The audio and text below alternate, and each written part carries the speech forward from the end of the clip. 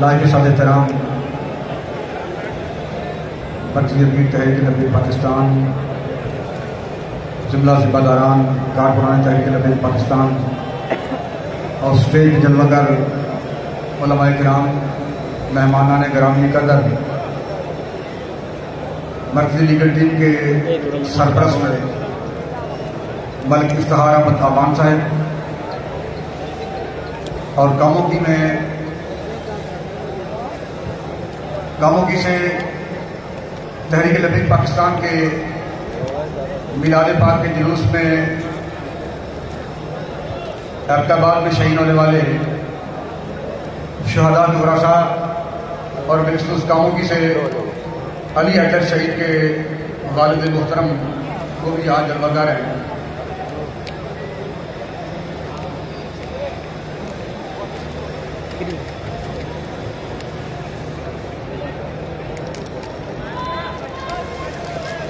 मानसरा के शहदा के वरासा भी यहाँ जमागर हैं।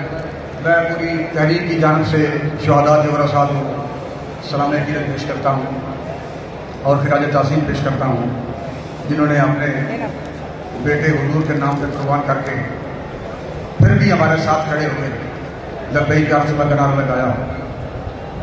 वक्त ज़्यादा हो चुका है। अगर से मेरे जिम्मे मौजूद था फ़िक्र इकबाल और तहरीक लबैक पाकिस्तान। लेकिन अब वक्त जोहर की बजाय असर तक पहुँचने वाला है।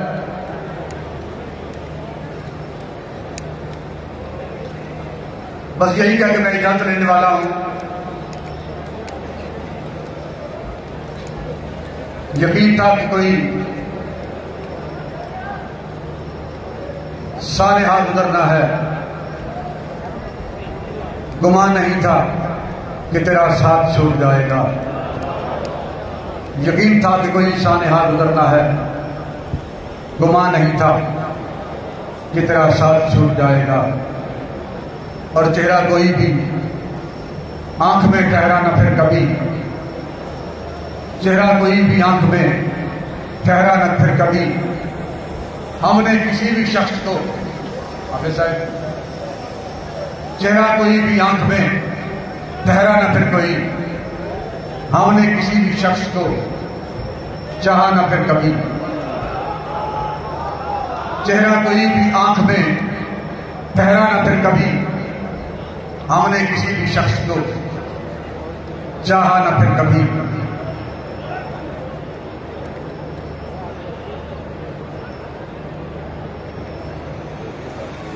रूठा जरा सी बात उठ के चला गया। आया न आया न लौट के फिर। कभी दोस्तों मुहतरम अलामा इकबाल ने जिस दर्द के नंदा के लिए दुआएँ मांगी,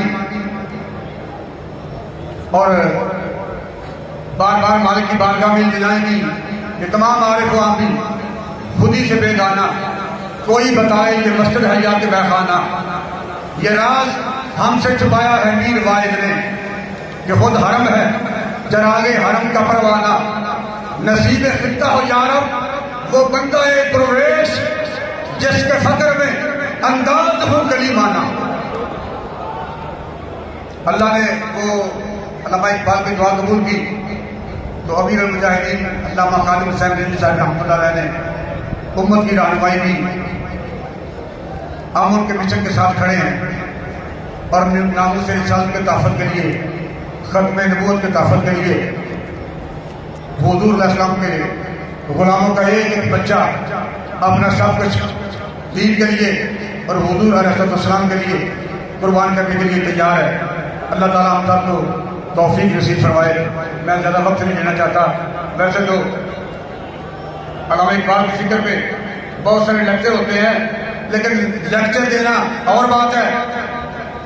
उम्मत को इस्लाम का पैगाम देंगे और खुद गुमराह रह के उम्मत को गुमराह करना और बात है। और फ़िक्र इकबाल पे गामजन हो गए पूरी उम्मत की रहनुमाई करना सिर्फ़ और मुजाहिदीन का काम। जब भी कभी तहरीक दीन पर मुश्किल वक्त आया है।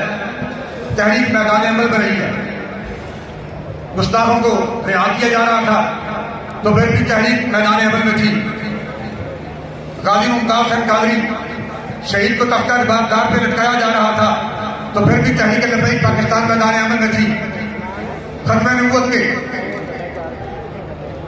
हल्फनामे पर जब डाका डाला गया तो फिर भी तहरीक लबई पाकिस्तान मैदान अमल में थी, और आज भी तहरीक लबई पाकिस्तान मैदान अमल में। और जब भी दिन पर मुश्किल वक्त आएगा इन तहरीक लबई पाकिस्तान अपने कायद की क्यादत में हजूर अलैहिस्सलाम की इज़्ज़त और नामूस पर कर देने के लिए, खत्म नबूत के तहफ़ के लिए और नबी अलैहिस्सलाम के दीन को तख्त पर लाने के लिए मैदान अमल में रहेगी।